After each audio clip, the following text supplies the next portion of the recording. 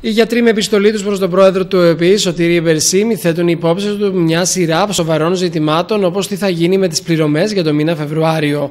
Ο οργανισμός έχει θέσει ως καταληκτική ημερομηνία πληρωμής την 28 Ιουνίου βάσει του νόμου. Η Ένωση Νοσοκομιακών Ιατρών, η οποία υπενθυμίζει ακόμη ότι περίπου το 10% των σεβεβλημένων γιατρών ανά την επικράτεια έχουν μείνει απλήρωτοι για τον Ιανουάριο παρά τις διαβεβαιώσεις για ολοκλήρωση των πληρωμών εντός των ημερών. Και ρωτά το συνδικαλιστικό όργανο των γιατρών προς τι επιλεκτική διοικητική τεχνική δυσκολία και κολυσιεργία. Πότε θα καθαριστούν και πότε θα αποπληρωθούν οι ιατρικές πράξεις και εργαστηριακές εξετάσεις του Ιανουαρίου του 2016.